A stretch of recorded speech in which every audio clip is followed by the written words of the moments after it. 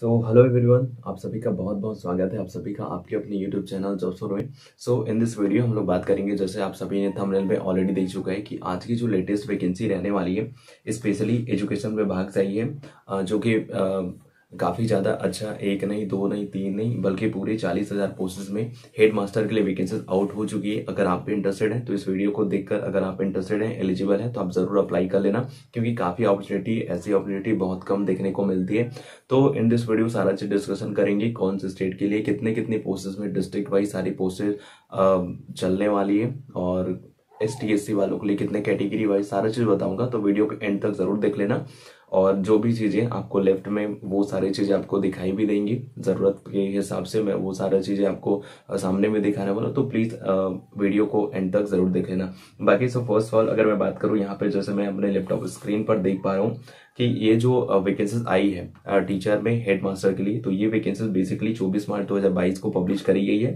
बाकी यहाँ पे अगर मैं बात करूँ पोस्ट के यहाँ पे तो ये आया है बेसिकली बिहार की ओर से। और देखिए अब बिहार की ओर से है तो आप अदर स्टेट से फिर भी आप अप्लाई कर सकते हैं, इसके लिए कोई दिक्कत नहीं है। बाकी जो इसका जो फ़ीस वगैरह है वो आपको जो सामान्य वर्ग है, उसी के हिसाब से पेमेंट करना होगा, क्योंकि आप दूसरे स्टेट से अप्लाई कर रहे हैं इसके अकॉर्डिंग बाकी यहाँ पे मैं बात करूँ तो ये जो वैकेंसी आउट हुई बेसिकली बिहार हेड मास्टर के लिए यहाँ पे प्राइमरी स्कूल टीचर्स के लिए यहाँ पे जो प्राइमरी स्कूल होता है, वहाँ पे हेड मास्टर की नीडेड है तो इसलिए यहाँ पे टोटल चालीस प्लस पोस्ट में यहाँ पे वैकेंसी आउट हो चुकी है. ओके यहाँ, यहीं पर अगर मैं बात करूँ और देखिए, सबसे फ़र्स्ट ऑल अगर मैं बात करूँ ना, यहाँ पे सिलेक्शन प्रोसेसर की तो आपको केवल जो एमसीक्यू बेस्ड टेस्ट होता है ना वस्तुनिष्ठ प्रश्न ही आपको देखने को मिलेंगे टोटल डेढ़ सौ क्वेश्चन अटेम्प्ट करने हैं। उसके बाद आपको इसके अलावा और कोई केवल वन वन लेवल एग्जामिनेशन है। इसके बाद आपको और एग्जामिनेशन देखने को नहीं मिलेगा। आप जब इसका, आप इसका नोटिफिकेशन डाउनलोड करिए, वहाँ पे क्लियरली मेंशन हो जाएगा। और रही बात नोटिफिकेशन डाउनलोड करने की तो टेलीग्राम चैनल को ज्वाइन कर लेना, वहाँ पे आपको मिल जाएगा। बाकी इंपॉर्टेंट डेट्स की अगर मैं सबसे फ़र्स्ट में बात करूँ तो जैसे मैंने कहा एप्लीकेशन स्टार्ट हो जाएगा ऑनलाइन अप्लाई होना, अट्ठाईस मार्च दो हज़ार बाईस से। और उसके बाद इस वैकेंसीज को अप्लाई करने का लास्ट डेट आपको 22 अप्रैल 2022 तक देखने को मिल जाएगा।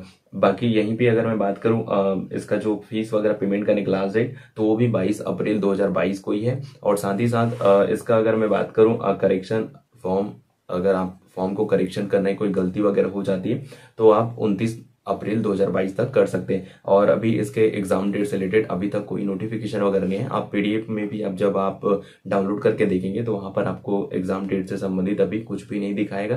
तो जैसे इसके बारे में कोई लेटेस्ट अपडेट आएगा तो वो मैं आपको इन्फॉर्मेशन दे दूँगा। बाकी एप्लीकेशन फ़ीस की अगर मैं बात करूँ तो देखिए अगर आप जनरल है ओबीसी है, या फिर आप अदर स्टेट से आप फॉर्म अप्लाई करना चाहते हैं, या फिर अप्लाई कर रहे हैं, आप अदर स्टेट के कैंडिडेट्स हैं, तब आप सात आपको एग्जामिनेशन फ़ीस शुल्क कर मतलब जो एग्जामिनेशन फ़ी है वो आपको पेमेंट करना होगा।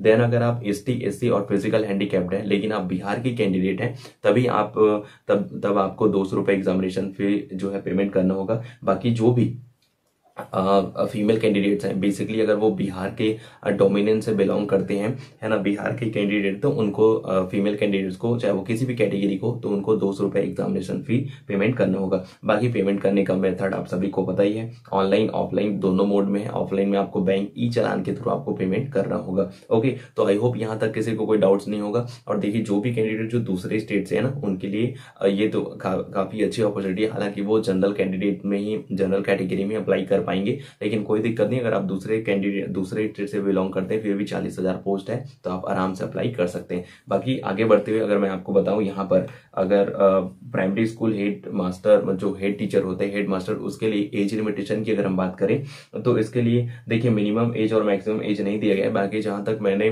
जो इसका जो नोटिफिकेशन है, वहाँ पे रीड किया था तो मैक्सिमम एज जो है साठ वर्ष दिया गया था। बाकी मिनिमम के लिए अभी तक इन्होंने कोई भी जो टर्म्स कंडीशन है, वो यहाँ पे जारी नहीं किया। लेकिन हाँ मैं यही कहूँगा, अगर आप, अगर आपके पास क्वालिफिकेशन है एलिजिबल है, तब आप आराम से अप्लाई कर सकते हैं।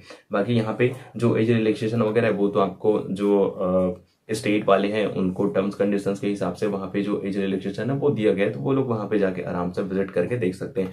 बाकी अगर मैं यहीं पे बात करूँ जैसे मैंने बताया, यहाँ पे पोस्ट नेम में जैसे टीचर के लिए मतलब जो प्राइमरी स्कूल्स हैं, वहाँ पे हेड मास्टर के लिए है और यहाँ पे टोटल अगर वैकेंसीज की बात करें तो चालीस हज़ार पाँच सौ छह पोस्ट वैकेंसी आउट हो चुकी है। आप पीडीएफ को अच्छे से डाउनलोड कर लेना। देन वहाँ पे आप लोग देख पाएँगे कि टोटल जो चालीस हज़ार पाँच सौ सौ छह पोस्ट है ना तो वहाँ पे डिस्ट्रिक्ट वाइज कौन कौन सा डिस्ट्रिक्ट वाइज कितने कितने पोस्ट है? और जब भी आप अप्लाई करें तो आपके जहाँ पे ज़्यादा पोस्ट है, या फिर जो भी आपका नियरेस्ट नियरेस्ट डिस्ट्रिक्ट होता है, वहाँ पे आप लोग आराम से आपके प्रेफरेंस दे के वहाँ पे अप्लाई कर सकते हैं। बाकी अगर मैं बात करूँ यहाँ पे क्वालिफिकेशन की तो अगर आपने किसी भी स्ट्रीम में है ना चाहे वो बी हो बी हो बीएससी हो या फिर वेरियस जितने भी स्ट्रीम होते हैं किसी भी एक सब्जेक्ट में अगर आपने पार्टिकुलरली ग्रेजुएशन कंप्लीट कर लिया है और उसमें भी मिनिमम जो है फिफ्टी परसेंट आपका मार्क्स होना चाहिए तब आप इस वैकेंसी में अप्लाई कर सकते हैं। साथ ही साथ आ, उसके बाद लेकिन जो जो कैंडिडेट एस टी और ईडब्ल्यू और जो ओबीसी कैंडिडेट और जो फीमेल कैंडिडेट वो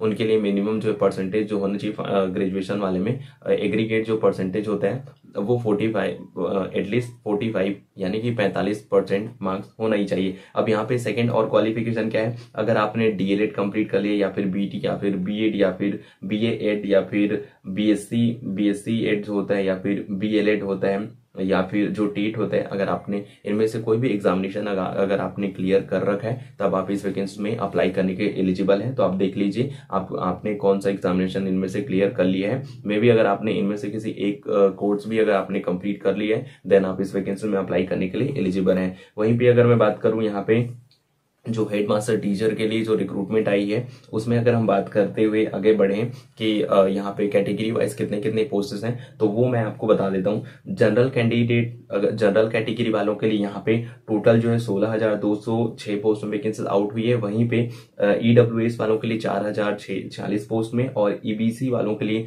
सात हज़ार दो सौ नब्बे पोस्ट में वैकेंसी आउट हुई है। देन उसके बाद यहाँ पे अगर हम बात करें ओबीसी कैटेगरी वालों के लिए तो ओबीसी वालों के लिए चार हज़ार आठ सौ इकसठ पोस्ट में और बीसी जो फीमेल कैंडिडेट्स हैं, उनके लिए यहाँ पे 1210 पोस्ट में और एससी वालों के लिए यहाँ पे 6400 सत्तर पोस्ट है और वहीं पे एस वालों के लिए चार सौ अठारह पोस्ट है। तो ओवरऑल यहाँ पे चार हज़ार सॉरी चालीस हज़ार पाँच सौ छह पोस्ट में टोटल वैकेंसी आउट हो गई है। बाकी एक बार फिर आपको बता दूँ जाते जाते कि ऑनलाइन जो फॉर्म है अप्लाई होना स्टार्ट हो जाएगा 28 मार्च 2022 से। अगर आप इंटरेस्टेड हैं तो ज़रूर अप्लाई करिएगा। वहीं पर अगर हम बात कर ले, यहाँ पे नोटिफिकेशन डाउनलोड करने की और डिस्ट्रिक्ट वाइज जितने भी वैकेंसी डिटेल है, उनको डाउनलोड करना चाहते हैं, अगर आप तो नीचे में टेलीग्राम का चैनल टेलीग्राम का लिंक दिया है, आप उसको ज्वाइन करके ज़रूर से ज़रूर ज्वाइन कर लेना, वहाँ पे सारा डिटेल और आपको अच्छे से मिल जाएगा। पीडीएफ आपको हिंदी और इंग्लिश दोनों वर्जन में मिल जाएगा तो आप उसके लिए फ़िक्र ना करें। आपको दोनों ही वर्जन में पीडीएफ वगैरह जो आपको प्रोवाइड करा दिया जाएगा। बाकी और वैकेंसी के अकॉर्डिंग और कोई चीज़ समझ नहीं है किसी चीज़ को लेकर आपके में डाउट है